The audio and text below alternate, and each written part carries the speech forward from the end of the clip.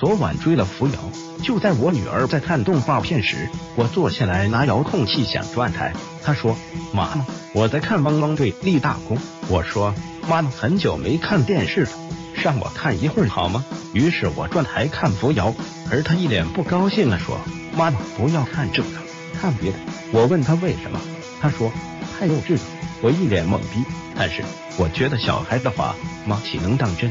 我觉得真正精彩的剧情是从扶摇进了天泉国开始吧。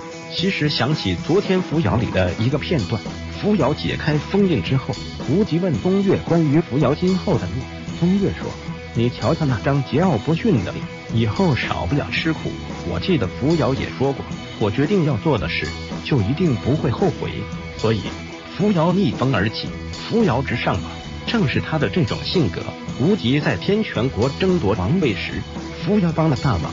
无极太子和翼王争敌，无极喜欢什么，翼王就喜欢什么，这是皇后的原话。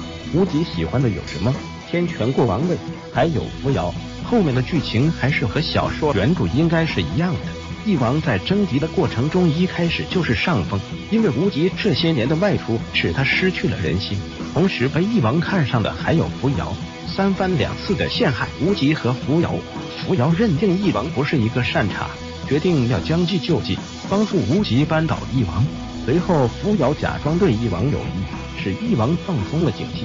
最后还是扶摇假装嫁给翼王，婚礼将成被无极搅乱。